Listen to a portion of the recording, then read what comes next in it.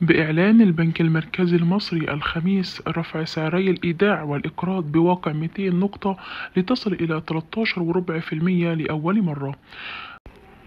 وظهرت منتجات مصرفية جديدة تمثلت بطرح البنوك المركزية شهادات ادخارية لمدة ثلاث سنوات بفائدة تصل إلى 17% بحسب دورية صرف العائد وهذا خلال الجولات السابقة من التعويم.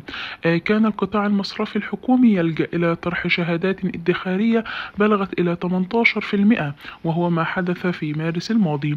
واستمر لمدة شهرين فقط وكان ذلك بمواكبة قرارات عرف عرفت بالتعويم الثاني. آه، وكان سعر صرف الدولار حينها 15 جنيه و60 قرش.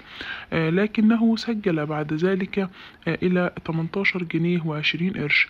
أما في التجربة التعويم الأولى هذا ما حدث في عام 2016 فإن البنوك الحكومية طرحت شهادات بفائدة 20% وشهادات إقبال كبير.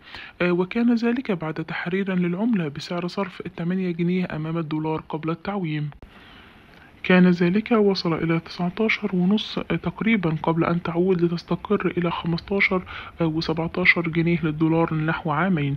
أما البنك المركزي بدوره يقول إن إجراءاته الاصطلاحية تستهدف ضمان استقرار الاقتصاد الكلي وتحقيق نمو اقتصاد مستدام وشامل.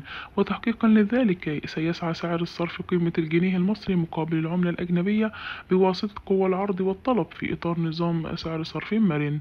غير أن المركزي عاد وأقر بأنه من المتوقع أن تؤدي الزيادة في الأسعار العالمية والمحلية إلى ارتفاع معدل التضخم العام عن نظيره المستهدف من قبل البنك المركزي والبالغ 7% بحوالي 2 نقطة مئوية.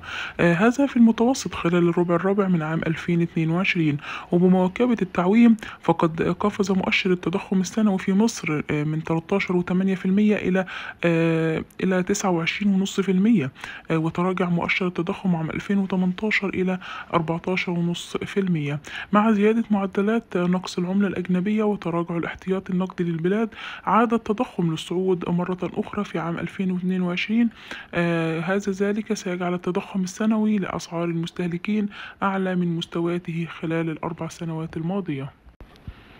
أما البنك المركزي يمضي في خطة التعويم ويرفع أسعار الفايدة والاتفاق على قرض صندوق النقد الدولي بقيمة 3 مليارات دولارات.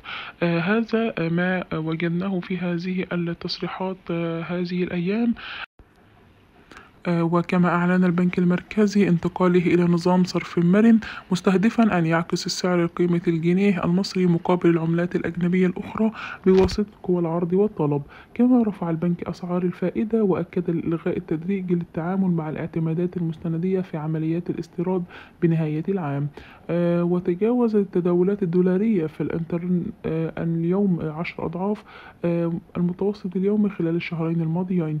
وهو مؤشر قوي على أن سعر صرف الدولار متوازن يتراوح بين اتنين وعشرين ونص وتلاتة وعشرين ونص حتى وصل إلى آه، أربعة وعشرين ونص آه، في اليوم.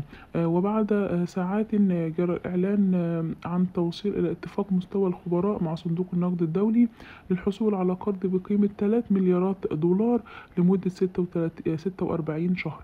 حسب ما صرحت رئيسة بعثة الصندوق لمصر وهو في مؤتمر صحفي إلى جانب رئيس مجلس الوزراء ومحافظ البنك المركزي آه، وهذا ما جعل التخطيط آه، هذا يعد هذا القرض هو الحزمة الرابعة لمصر من صندوق النقد الدولي.